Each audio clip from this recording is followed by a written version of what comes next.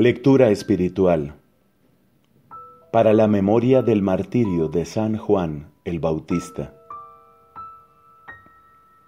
De las homilías de San Beda el Venerable, presbítero.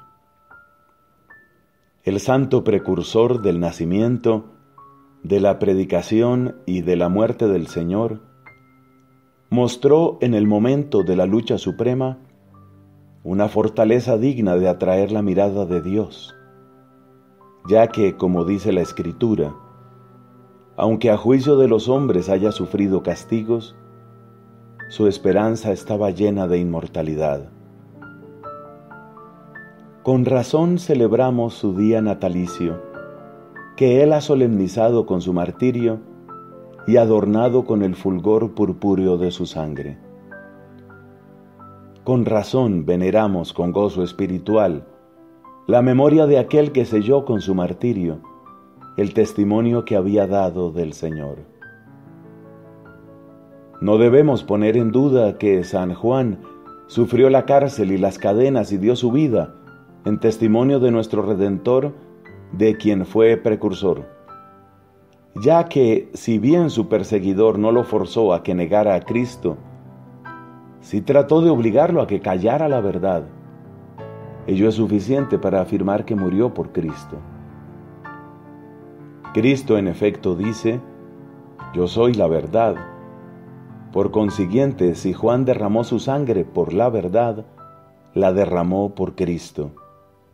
Y él, que precedió a Cristo en su nacimiento, en su predicación y en su bautismo, anunció también con su martirio anterior al de Cristo la pasión futura del Señor. Este hombre tan eximio terminó pues su vida derramando su sangre después de un largo y penoso cautiverio. Él, que había evangelizado la libertad de una paz que viene de arriba, fue encarcelado por unos hombres malvados.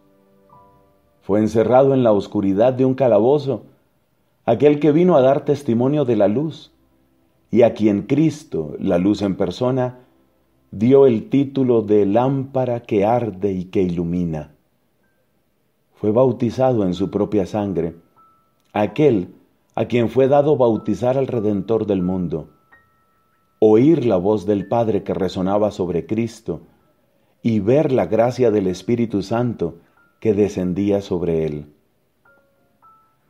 Mas a él todos aquellos tormentos temporales no le resultaban penosos, sino más bien leves y agradables, ya que los sufría por causa de la verdad y sabía que habían de merecerle un premio y un gozo sin fin.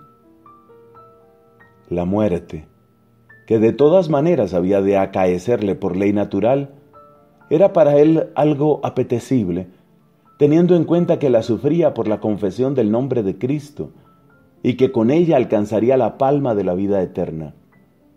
Bien lo dice el apóstol. Dios os ha dado la gracia de creer en Jesucristo y aún de padecer por Él. El mismo apóstol explica en otro lugar por qué sea un don el hecho de sufrir por Cristo.